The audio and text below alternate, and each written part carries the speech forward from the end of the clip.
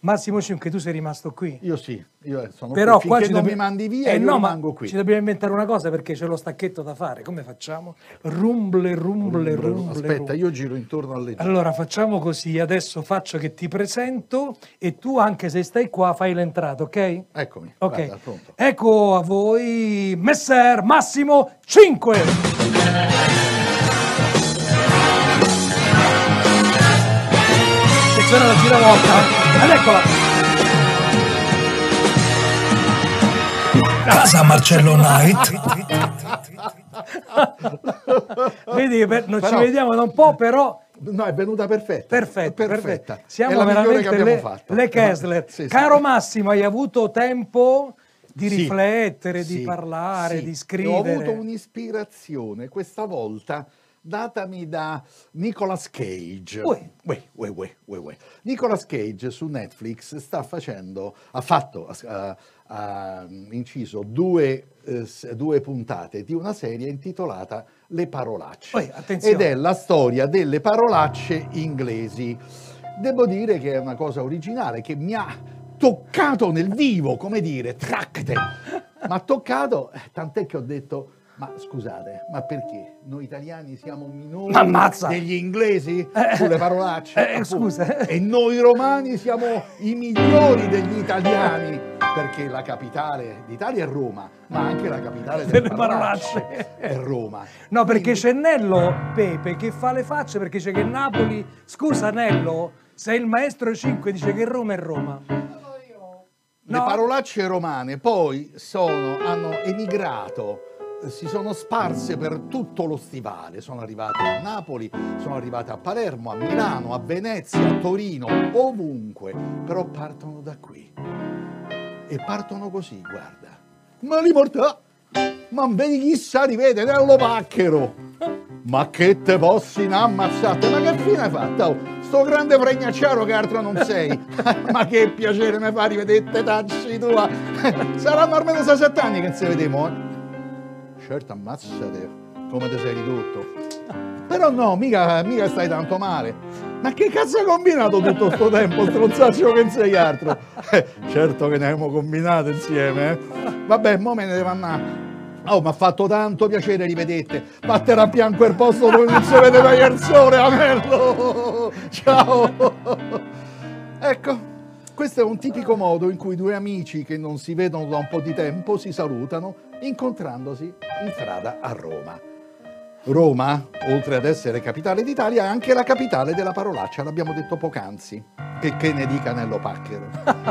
A Roma la parolaccia può essere un'ingiuria, ma anche più spesso una forma di simpatia, di tenerezza. Spesso se qualcuno mi fa un complimento, Marcello, prova a farmi un complimento. In italiano senza parolacce. In italiano senza parolacce. Sei veramente un grandissimo artista. Vaffanculo. ecco, questo senso è un tenero vaffanculo, non è un vaffanculo ingiurioso, ma tutto sommato perché io sono intimidito da questo complimento che tu mi hai fatto, quindi vaffanculo. La parolaccia d'altronde ha una storia antica. Pensate che nella chiesa di San Clemente a Roma vi è raffigurata una vignetta nella quale Sisinio, rivolgendosi ai suoi servi che stanno trascinando San Clemente, dice figli de pute, traite, figli de puttana tirate. Stiamo intorno all'anno 1000. Oh, altra citazione, Dante Alighieri, diciottesimo canto dell'inferno. E mentre ch'io laggiù con l'occhio cerco, vidi un col capo sì di merda lordo che non pareva se era laico o cherco. Cioè, era talmente sporco di cacca in testa che non si riusciva a capire se aveva la tonsura del frate oppure se erano capelli. Al termine, non, finisce qui, al termine del ventunesimo canto, Barbariccia risponde ai diavoli, ed egli avea del cul Fece trombetta. Bravissimo, vedi, questa ce la ricordiamo tutti. Eh, in pratica aveva emesso dei rumori un po' sconci.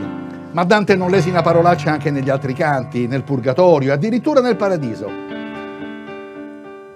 Ti ricordi Roberto Benigni in eh, Fantastico del 91? Come no? Quando giocava con le parti intime di Raffaella, Di Raffaella Carrà. Evidentemente Benigni è un conoscitore del belli Giuseppe Gioacchino Belli. Sentite qua.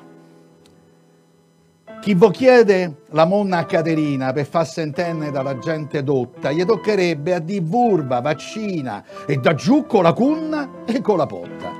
Hanno altri fiacci di mignotta, di moscella, patacca, passerina, fessa, spacco, fissura, buscia, grotta, fregna, figa, ciabatta, chitarrina, sorca, paschetta, fodero, frittella, ciscia, sporta, perucca, parpelosa, chiavica, cattarola, finestrella, fischiarola, quel fatto, quella cosa, urinale, fracoscio, ciumachella, la gabbia del pipino e la brodosa. E si vuoi la scimosa, chi la chiama vergogna e chi natura, chi ciufeca, tagliola e sepoltura. Attenzione però, caro Marcello, Giuseppe Gioacchino Belli eh, era già eh, parità di genere, quindi scrisse anche per gli uomini, per i maschietti. Per lui?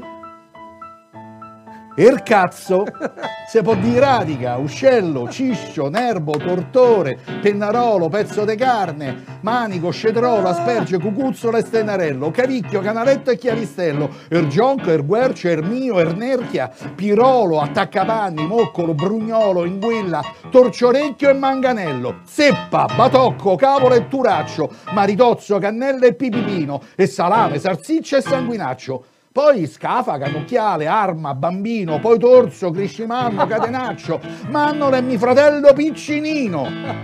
E te lascio persino che il mio dottore lo chiama cotare, fallo, asta, verga e membro naturale. Quel vecchio de speziale, dice Priapo, e, e la sua moglie, pene. Segno per Dio che non gli torna bene. Belli l'ha composta nel 1832. Io se potessi ti abbraccerei fino a stritolarti. Fantastico.